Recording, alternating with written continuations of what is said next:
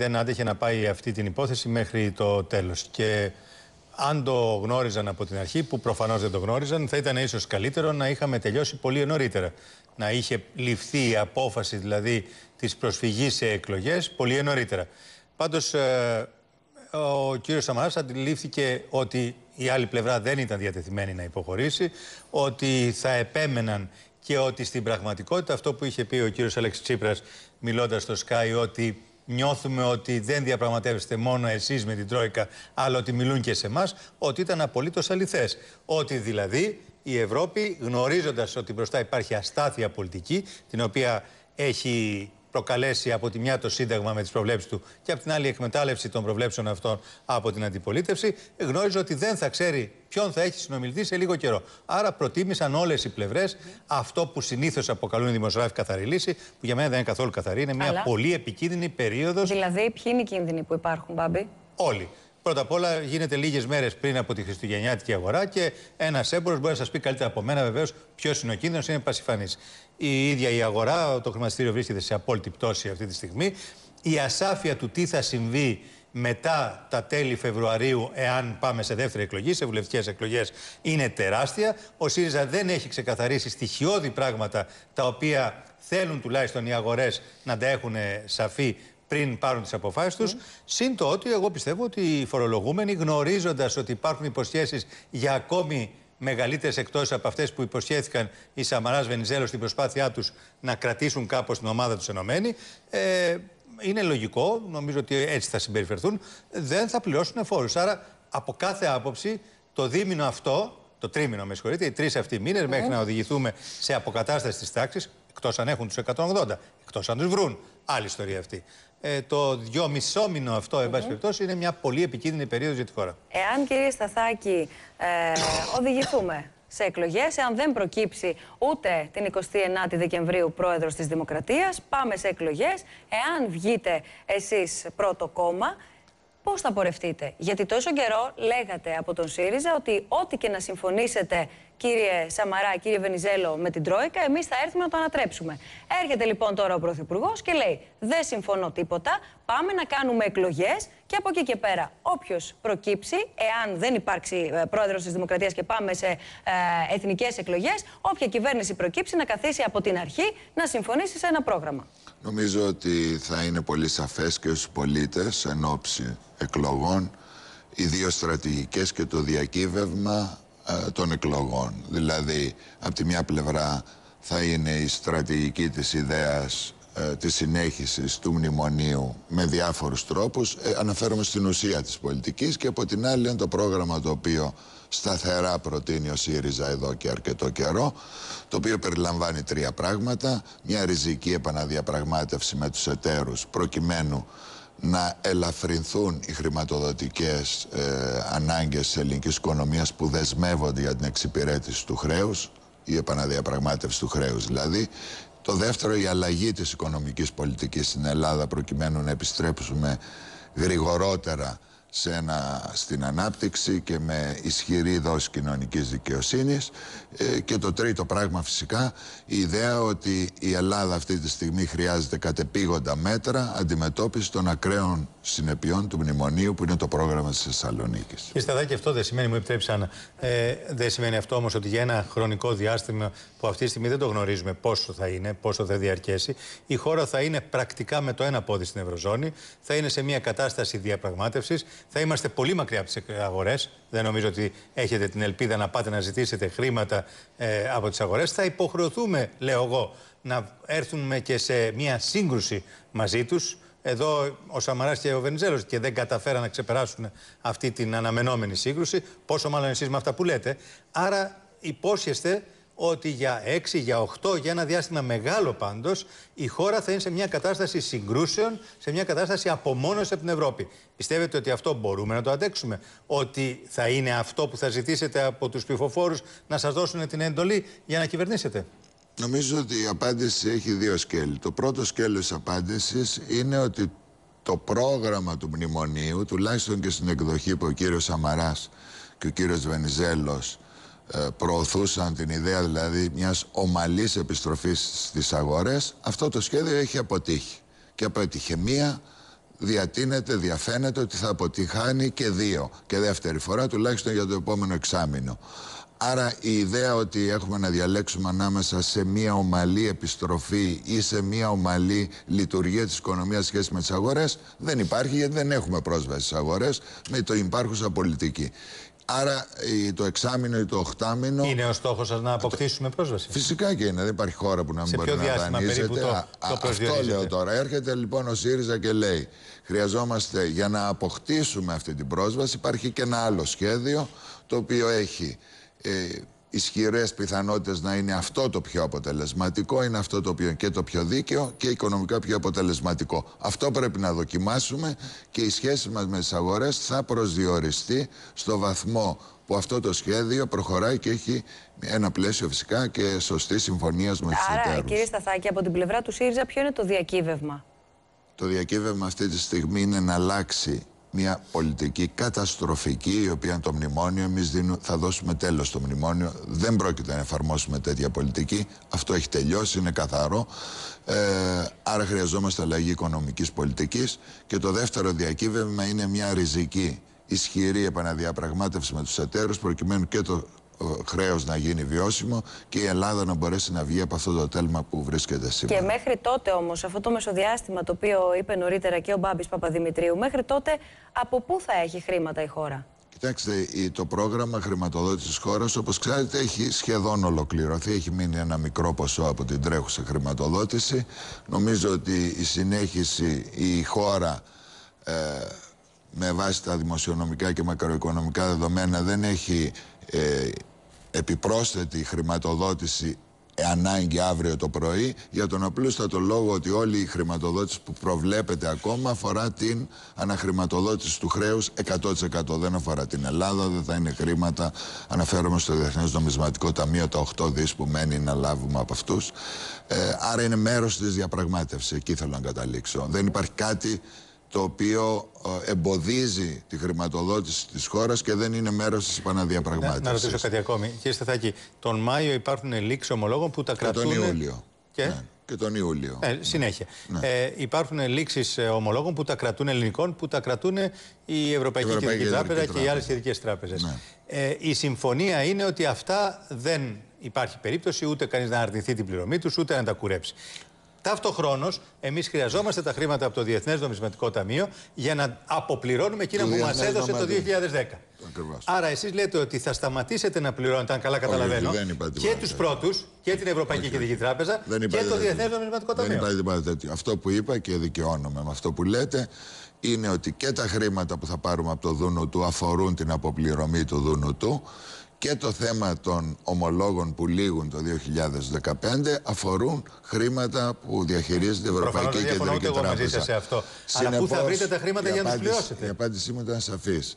Μέρος της επαναδιαπραγμάτευσης του χρέους, αυτό βρήνε το επίκεντρο της διαπραγμάτευσης. Ότι πρέπει να ελαφρυθεί το χρέος, να διευκολυνθεί η διαδικασία αποπληρωμής σε χρονοδιάγραμμα και με όρους οι οποίες είναι συμβατές ε, με τις δυνατότητες Θα πάω λίγο τελείως αλλού την κουβέντα. Επειδή μέσα σε πολύ σύντομο χρονικό διάστημα πρέπει να ακούσουμε πάρα πολλές θέσεις και από τη συγκυβέρνηση και από την αξιωματική αντιπολίτευση και όχι μόνο να τις ακούσουμε εμείς, ο λαός ο οποίος δεν θέλει εκλογές. Υπενθυμίζω, το έλεγα νωρίτερα και στον Άδωνη Γεωργιάδη κύριε Σταθάκη, δεν θέλει εκλογές ο κόσμος. Παρόλα αυτά δεν ξέρω κατά πόσο μετράει η γνώμη του κόσμου στην τελική, αυτό είναι ένα άλλο σχόλιο, αλλά όλα αυτά τα οποία σιγά σιγά αρχίζετε να επεξεργάζεστε ή γρήγορα γρήγορα λόγω των ραγδαίων εξελίξεων, έχετε αρχίσει να τα συζητάτε στο εξωτερικό; Και σας ρωτώ προσωπικά, είχατε σειρά συναντήσεων μαζί με τον κύριο Μιλιό, έχει δημιουργηθεί και όλος αυτός ο ντόρος τις προηγούμενες ημέρες στο ΣΥΤΙ. Προφανώς ο ΣΥΡΙΖΑ όχι μόνο με το πρόσφατο ταξίδι και με προηγούμενα ταξίδια πολλά και του Αλέξη Τσίπρα και δικά μας και πολλών άλλων ε, αυτά συζητάει με όλους τους θεσμικούς νομίζω ότι ο, ο ίδιος ο Αλέξης Τσίπρας έχει δει τον Ευρωπαϊκή Κεντρική Τράπεζα, τον Τράγκη, την Κομισιόν, όλους τους θεσμούς ε, και πάει λέγοντας. Και τι σας λένε, ναι, ελάτε να το δούμε εναλλακτικά. Και εμείς έχουμε πυκνώσει φυσικά σε όλα τα επίπεδα αυτές τις συναντήσεις.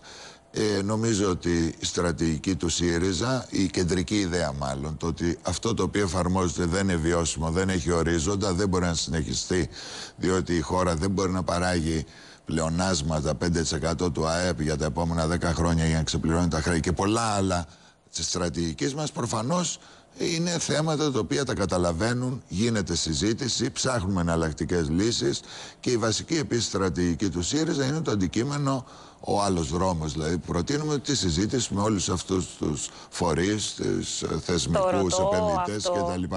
Το κλίμα είναι πολύ διαφορετικό προφανώς. Αν καλά κατάλαβα κύριε Σταθάκη, την επομένη των εκλογών δεν σκοπεύετε να πείτε δεν πληρώνουμε το χρέος, ενώ τώρα λέτε ότι το χρέος δεν είναι βιώσιμο, πιστεύω ότι ετοιμάζεστε να πείτε την επόμενη μέρα των εκλογών ότι υπό κάποιες προποθέσει τουλάχιστον είναι βιώσιμο.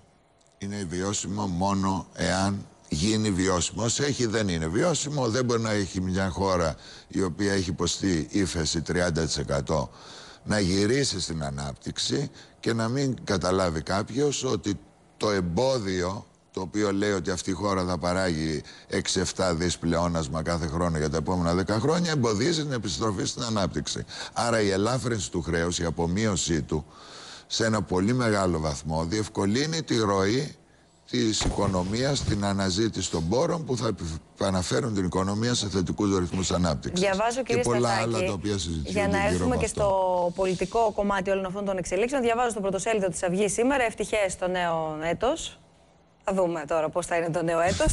Δεν ξέρω αν θα καταλάβουμε ότι θα αλλάξουμε χρόνο με αυτές τις εξελίξεις, αν θα καταλάβουμε πρωτοχρονιά δηλαδή. Ελπίζω αλλά... για τον κόσμο να καταλάβει και να μην παρασυρθεί από την πολιτική τρέλα που μας είναι η δουλειά μας. Ακριβώς. Για τους ε, ανθρώπους δεν είναι. Μας το έλεγε νωρίτερα και ένας εκπρόσωπος, ένας έμπορος που πουλά χριστουγεννιάτικα είδη. Ότι Άστου αυτούς. Ναι. Ο κόσμος κάνει. Ναι. Λοιπόν, το αίτημα του Eurogroup, λέει η Αυγή, για παράταση του μνημονίου κατά δύο μήνες είναι η τελευταία πράξη που παίζει η κυβέρνηση Σαμαρά Βενιζέλου, η οποία επιχειρεί να εκβιάσει την ψήφο των βουλευτών, κρύβοντας τα νέα μέτρα. Από την άλλη, η κυβέρνηση κατηγορεί το ΣΥΡΙΖΑ ότι εσείς εκβιάζετε και φοβερίζετε για την ακρίβεια βουλευτές, γιατί λέτε ότι είναι αποστασία αν κάποιος ψηφίσει πρόεδρο της Δημοκρατίας. Ακούσαμε τον Αλέξη Τσίπρα να λέει ότι όποιος ε, δεν ψηφίσει τον προπολογισμό ή όποιος ψηφίσει τον προπολογισμό να κρατήσει αντίστοιχη στάση και στην προεδρική εκλογή. Αυτό δεν είναι εκβιασμός, κύριε Σταθάκη. Κοιτάξτε, ε, εμείς όλα εκπορεύονται από την αναγκαιότητα η οποία επαναλαμβάνω σήμερα μπορούμε να πούμε ότι αναγνωρίζεται από όλους ότι η χώρα βιώνει ένα πολιτικό αδιέξοδο και η λύση στο πολιτικό αδιέξοδο είναι οι εκλογές. Αυτή είναι η βασική θέση του ΣΥΡΙΖΑ, αυτή είναι η βασική μας επιδίωξη. Επαναλαμβάνω δικαιώνεται διότι αυτό έχει ισχυρή βάση. Η κυβέρνηση είναι αδύναμη, η κυβέρνηση δεν μπορεί να περάσει τα πολύ σκληρά μέτρα τα οποία έχει συμφωνήσει. Ε, συνεπώς η λύση πρέπει να δοθεί μέσα από τις εκλογές. Αυτή ήταν η βασική μας θέση. Από εκεί και πέρα προφανώς η κυβέρνηση για να χρησιμοποιήσει την προεδρική πλειοψηφία των 180 είναι σε αναντιστοιχεία με, τους, με το σχετισμό που έχει στη Βουλή, που όπως φάνηκε και στον προϋπολογισμό. Ε, από εκεί και πέρα νομίζω ότι η καλύτερη λύση υπό τις σημερινές συνθήκες είναι δεδομένη. Αντί να επιχειρήσει η κυβέρνηση να φτιάξει τεχνητά μια τέτοια πλειοψηφία η οποία δεν αντιπροσωπεύει την πραγματικότητα, καλύτερο είναι να οδηγηθούμε σε εκλογές και να έχουμε ένα καθαρό αποτέλεσμα, μια καθαρή λαϊκή εντολή και όποια κυβέρνηση εκλεγεί να κάνει αυτά που τις Κύριε ε, Σταθάκη, θέλω τη συμβουλή σας, όχι για μένα προσωπικώς όπως το αντιλαμβάνεστε, αλλά για όσους έχουν κάποια δάνεια, για όσους έχουν χρωστούν. Τι πρέπει να κάνουν να συνεχίσουν, παράδειγμα, με τις ρυθμίσεις, γιατί αυτό έμεινε τώρα. Μιας που διακόψαμε την Τρόικα, από ό,τι φαίνεται γλιτώνουν και οι 100. Να συνεχίσουν, διότι είναι ευκολότερο για αυτούς να περιμένουν, δεδομένου ότι αυτό λύγει τέλη Μαρτίου. Ε, νωρίτερα, ακόμη και αν πάμε σε βουλευτικές εκλογές, θα γνωρίζουμε τι έχει να συμβεί. Τι τους λέτε, Ποια ρύθμιση προτείνετε εσείς, διότι αυτό θέλουν να το ξέρουν. Να σας περιμένουν να έρθετε εν τη βασιλεία σας και τότε να κάνουν τη ρύθμιση. Θα τους δώσετε κάτι καλύτερο να σας περιμένουν ακόμη περισσότερο. Τι πρέπει να κάνουν οι άνθρωποι. Κύριε Βέβαια, Δημητρή, δεν υπάρχει από το στόμα μου να βγει ιδέα αναστολής λειτουργίας του κράτους, των φόρων, των ρυθμίσεων ή οτιδήποτε άλλο. Δεν είναι αυτό. Εγώ πιστεύω και ότι θα έχουμε μια ομαλή πολιτική διαδοχή ότι ο ΣΥΡΙΖΑ εκφράζει πραγματικά μια, ένα νέο, μια νέα στρατηγική. Ε, θα αλλάξει πράγματα, θα αλλάξει πράγματα και στα, ε, στον τρόπο αποπληρωμής των ε, κόκκινων δανείων. Μάλιστα ένα μεγάλο μέρος του προγράμματος της Θεσσαλονίκης είναι επικεντρωμένο στην ιδέα της αναδιάρθρωσης του ιδιωτικού χρέους με δύο ασφαλή κριτήρια. Πρώτον, ισχυρά κοινωνικά κριτήρια για τα στεγαστικά δάνεια προκειμένου να διευκολυνθεί η διατήρηση πρώτης κατοικίας για τα φτωχότερες ομάδες του πληθυσμού μας και ισχυρά ε, κοινωνικά και οικονομικά κριτήρια για τις μικρομεσαίες επιχειρήσεις και την θα δυνατότητά τους να Θα σας διακόψω κύριε Σταθάκη, με ενημερώνω πρέπει να μεταφερθούμε στο Μέγαρο Μαξίου. Μας περιμένει η Λίδα Μπόλα. Εκεί είχε συνάντηση η Λίδα ο Πρωθυπουργός με το...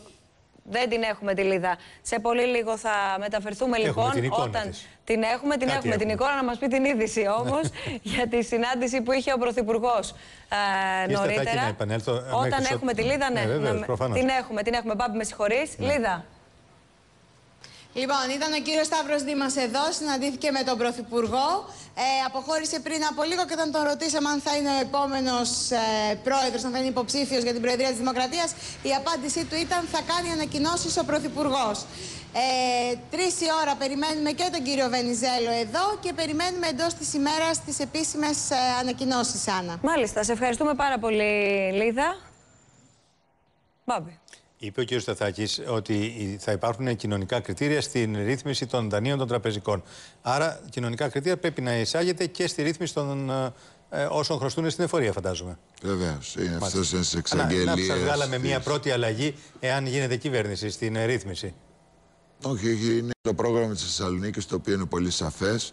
Σας υπενθυμίζω ότι στο πρόγραμμα της Θεσσαλονίκης για τις μικρομεσαίες επιχειρήσεις προβλέπει ότι τα χρέη προς εφορία, τράπεζες και ασφαλιστικούς ε, οργανισμούς πρέπει να αναδιαρθρωθούν με έναν τρόπο που η αποπληρωμή τους να μην ξεπερνάει το 30-35% του καθαρού εισοδήματος των επιχειρήσεων. Πολλοί, για πολλοί, να είναι βιώσιμη ναι. η επανακίνησή τους. Υπάρχουν πολλοί πολίτες οι οποίοι πιστεύουν ότι υπάρχει κίνδυνος με τα πολιτικά πράγματα. Το κάνανε ανεξαρτήτως του ποιος είναι ο επόμενος ε, που μπορεί να κυβερνήσει τη χώρα.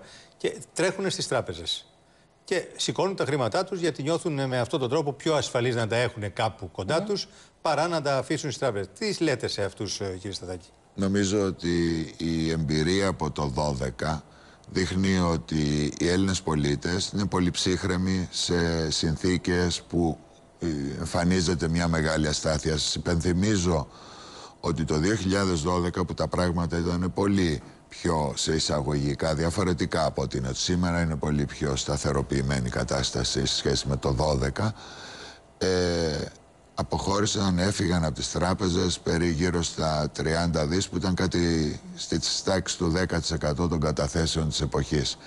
Ε, άρα αν το 12 λειτουργήσε με τόση ψυχραιμία ο κόσμος, σήμερα θα λειτουργήσει με μεγαλύτερη ψυχραιμία, άρα αποκλείω οποιοδήποτε τέτοιο κίνδυνο να υπάρξει στο, επικείμε, στο προσεχές διάστημα. Κύριε Σταθάκη, στο πλαίσιο της σεναριολογίας για την ονοματολογία ε, ορμόμενη και από τη συνάντηση που είχε ο Πρωθυπουργός, είναι ένα όνομα ο κύριος Δήμος που παίζει για ε, στα πηγαδάκια παίζει για υποψήφιος πρόεδρο της Δημοκρατίας. Έχει ανοίξει μία συζήτηση παράλληλα με τις βασικές κεντρικές συζητήσεις ότι θα επιχειρήσουν ενδεχομένως και θα προσανατολιστούν στη συγκυβέρνηση σε ένα πρόσωπο το οποίο, αν δεν θέλετε να το ψηφίσετε, όσοι βουλευτές και όσα κόμματα δεν ψηφίσουν πρόεδρο της Δημοκρατίας, να σας είναι δύσκολο να μην το ψηφίσετε.